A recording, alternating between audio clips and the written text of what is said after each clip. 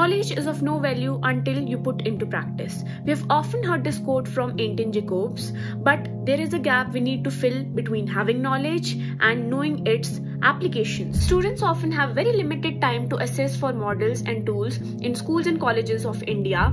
Practicals are often predefined, which does not allow students to experiment freely. We often get beaten up for breaking something and finding out what's in actually there. We found out that hands-on design practice, reverse engineering, scale down models, know-how of tools are required to assemble or disassemble scale down models are prerequisite before designing something new. Having personal tools and models as your own laboratory is obviously an advantage. Therefore, at Condensate, we will deliver scale down models. This one as a scale down generated model used in our previous videos and we are delivering it to Mr. Vijay who resides in Himachal Pradesh and he has a son studying in 7th grade. At Condensate, we hope it make a difference. Everyone should have resources to design and to innovate.